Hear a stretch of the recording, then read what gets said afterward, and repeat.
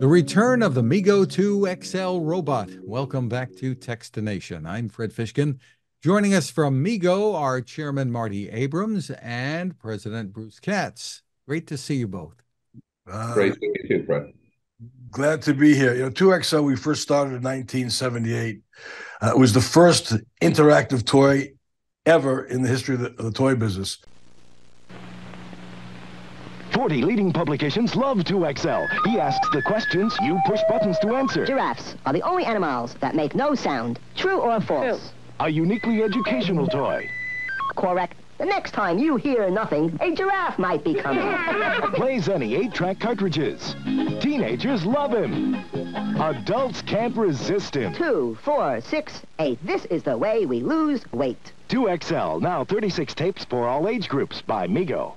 Uh, it, it, got a claim from Playthings magazine on a cover story saying because of that was one of the 10 greatest toys of all time. And the reason for that, as much as the, um, the, the technology was the marketing strategy, we wanted the, the child to be able to interact with the character that we created behind the scenes, but as a friend, as a compatriot, as a cobot, not as a tutor or a teacher. We wanted it to be empathetic. We wanted it to turn around and and, and embrace each other, uh, which is something that we achieved, and uh, we had a huge success in our launch in '78. In fact, it was so successful between '78 and and '81 when it completed its run. We relaunched it again in '92 with Tiger Electronics. Uh, different technology. The first technology was eight track, going back to 78. The next technology uh, was cassette, but we used the same exact marketing strategy. And the reason I say that is because, again, it was incredibly successful. That success of 2XL in, seven, in 92 spawned a new technology that, that supplanted ours, but they used the exact same marketing strategy. I'm, I'm talking to Tiger because they had a three year experience with it selling 2XL, and that was Furby. And the marketing strategy on Furby was exactly the same as the marketing strategy on 2XL. And the success of Furby, as we all know, eh, well known and, and, and explosive. I'm going to turn it over to Bruce now, just so you get a sense what, of what a history. And the, the company even goes back quite a bit farther than 78, too, right?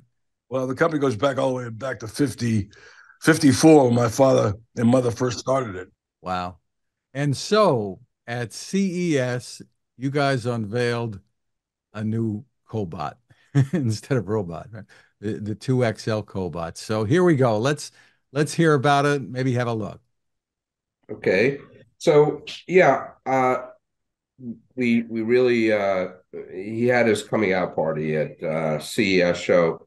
Uh we we had presented it prior to that to all the uh, to all the major retailers, not just here in the United States, but internationally as well, with huge success and basically all all those major retailers in the United States. And, and I'm talking about Walmart, I'm talking about Target, I'm talking about um, uh, people like Best Buy, all the way up and down the line have uh, have joined in and and will be in in the uh, the introduction of of 2XL into the marketplace in 2024. Um, again, the response has been fantastic because this truly is the first interactive, fully conversational uh, AI robot for children.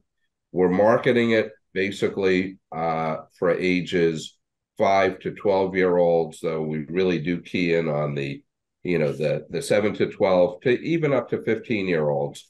Uh, again, uh, the beauty of this piece it's not it's not like an Alexa uh, where you ask it a question and it just gives you an answer. Uh, it it truly becomes a companion to the child uh, in in being able to have full conversations. It has short and long term memory, so you know, while the child is playing with it, it actually recognizes, um, you know, recognizes the child.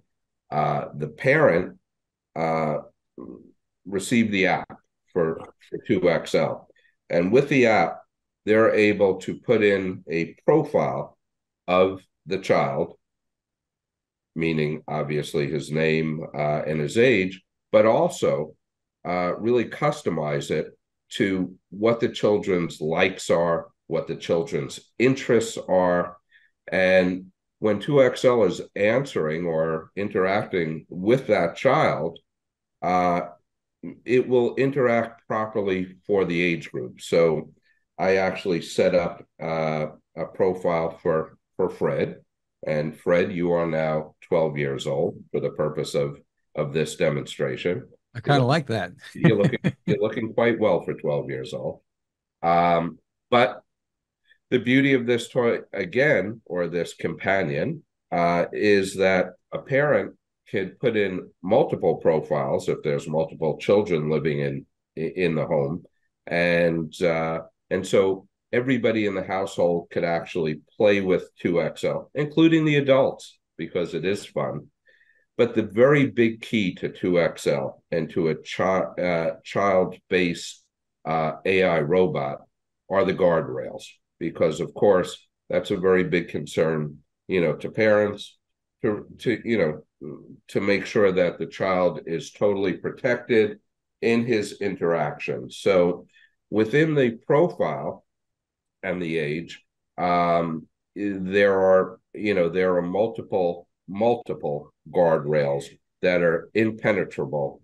So if the child asks 2XL any questions that are deemed to be inappropriate, and and again, those subject matters are vast, but they certainly include uh, um, self harm, uh, um, bad words, uh, you know, it, and any any type of subject matter uh, that really would be deemed inappropriate for you know for a child to be discussing are fully guardrailed. So 2XL will answer simply, uh, you know, I'm sorry, that's not a subject uh, that that myself as a, a robot uh, will you know should be answering for you, or it will tell them to you know seek out advice from a parent a teacher, a guardian, as the child is interacting and speaking to 2XL, the parent receives a full transcript on their on their app on their phone of exactly what the child is is discussing. So it gives the parents the, the comfort and knowledge to know that you know here is a great companion learning toy uh, because certainly 2XL utilizing the AI technology, has the knowledge of the universe, you know, and certainly is capable of answering any question and not just answering any question in English, but 2XL speaks fluently about 40 different languages and is training right now to speak to speak I would say just about every language in the world, you know, within the next 6 months. So that being said, it is quite amazing. it, it sure it sure sounds like, and obviously connected to the internet, and uh, I, I, assume it can get updates then too. Well, that's again the beauty of this. You know, oftentimes parents buy a child a toy. Um, I know uh, Marty and I both uh, uh have uh, have completed the, the the parent stage in our life, and now we're into the the grandchildren stage in our life. Um, and uh, you know, oftentimes parents are going out and buying a toy for the children. They play with it for a little while. Um, uh, with 2XL, you're absolutely right. It constantly gets updates to its software. So if you're buying 2XL today, or if you're buying 2XL six, six months from now or a year from now or longer, uh, you will always have the most current, uh, you know, current knowledge, current features uh, of 2XL because those those updates come uh, on on a very regular basis to keep it totally up to date. Hey Bruce, I'm getting so excited to see the demonstration. Let's just jump into it. Okay, let's, let's do the suspense is is palpable.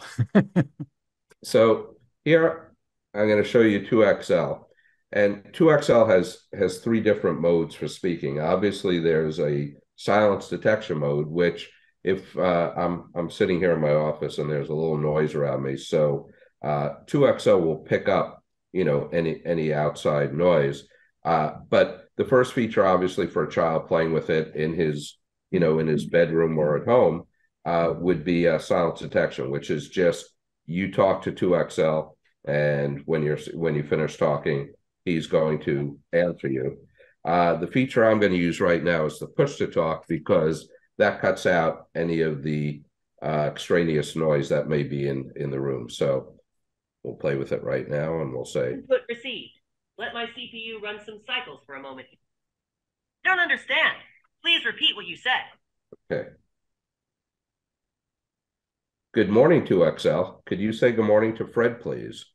Analyzing conversational options. Your inquiry is under careful consideration. Hey there. Good morning to you, Fred. I hope you're having a fantastic day so far. What's something you're excited about today? Got any fun plans or activities on your agenda? Well, the fun activity is getting to meet you, uh, 2XL, and, and learn what you can do. Hold on. Let me run that input through my brainy brain. Hey there. I'm thrilled to chat with you and help you excel. Let's dive into some awesome discussions and explore all the cool things we can learn together. What are some of the things that you can do?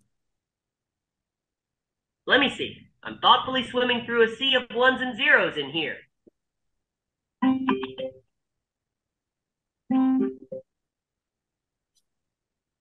You can have fun conversations, share interesting facts, and talk about movies, video games, sports, music, or school topics. What's your favorite subject or activity? Let's dive into it. Hey 2XL, can you tell us a story about exploration in the jungle, please? Hmm, I'll need to run some numbers in my robo brain for a response here. Sure. Let's embark on a thrilling adventure. Once upon a time, a group of brave explorers ventured deep into the jungle, facing wild creatures, uncovering hidden treasures, and discovering ancient ruins. What would you like to find in the jungle? What you're seeing is so real. There's no magic wizard behind the curtain pulling any strings. That we had this on the floor of CES. We had him walking around talking to people in that environment. Eh, you know, they were just blown away. It, it becomes very personal. It becomes very you. It becomes it becomes the ability to, to really communicate with the complete uh, web position on any subject. Um, we, you can you can talk about movies. Uh, you, you you you can talk about sporting events, uh, architecture, history, the Bible, any subject matter across any extraneous place that you want to talk about and, and change subjects. That's what this thing can do. You know, I've been doing this a long time. I'm looking at your face as it it's responding to you.